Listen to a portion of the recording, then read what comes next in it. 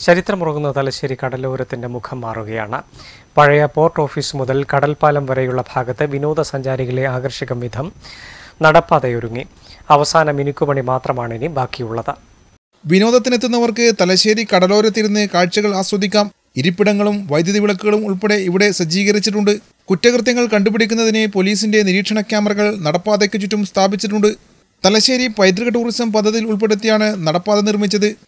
ഈ പദ്ധതിയിൽ ഉൾപ്പെടുത്തി പിയർ റോഡ് നവീകരണം ഉൾപ്പെടെ ഇതിനകം നടന്നു കഴിഞ്ഞു.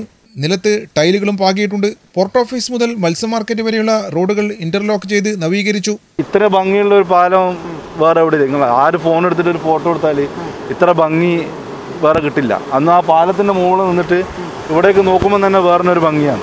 പാലത്തിന്റെ പണിയും കൂടി പെട്ടെന്ന് കഴിഞ്ഞാൽ പിന്നെ തലശ്ശേരിന്റെ മുഖച്ഛായ മാറും. എന്തായാലും മാറും. പണ്ടുള്ള പോലെയല്ല. പണ്ട് നമുക്ക് പേടിയായിരുന്നു. ഇവിടെ ഇങ്ങോട്ട് വന്നു കഴിഞ്ഞാൽ പരിസരം വൃത്തിയായില്ല അതുകൊണ്ട്.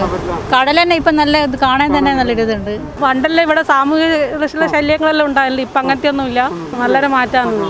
രണ്ടായിരത്തി പത്തിൽ കോടിയേരി ബാലകൃഷ്ണൻ ആഭ്യന്തരമന്ത്രിയായിരിക്കെയാണ് തലശ്ശേരി കടലോര നടപ്പാത നിർമ്മിക്കാനുള്ള ആശയമുയർന്നത്. റോഡ് നവീകരണം രണ്ടു വർഷം മുൻപേ പൂർത്തിയാക്കിയിരുന്നു. ഇതിനിടെ കോവിഡ് ഭീഷണിയെ തുടർന്ന് പദ്ധതിയുടെ പ്രവർത്തനം തടസ്സപ്പെട്ടു. വിനോദത്തിനെത്തുന്നവർക്ക് സിമന്റിൽ തീർത്ത മുപ്പതോളം ഇരിപ്പിടങ്ങളാണ് സജ്ജീകരിച്ചിട്ടുള്ളത്. News bureau Thalassery.